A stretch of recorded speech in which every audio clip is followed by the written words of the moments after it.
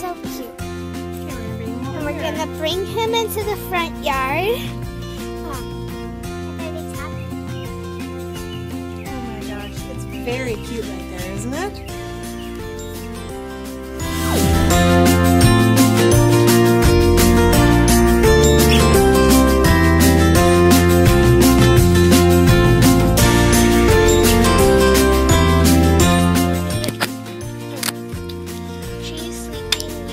Put some blankets on her so she would stay warm tonight, and she'll probably wake We're bringing Mimi to the doctor. We think she's really hurt, so my mom is gonna pick her up and put her in a box. Mom, can I touch you? Yeah, with a little glove.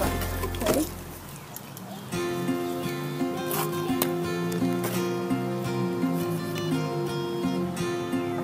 Hmm. Okay, we're at the Wildlife Rehabilitation Center.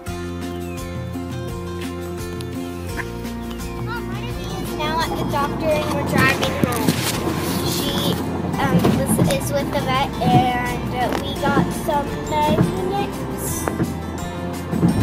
And they're gonna probably call us back if she's alive or dead. Um, and it, it's actually a he. And they he will probably be set out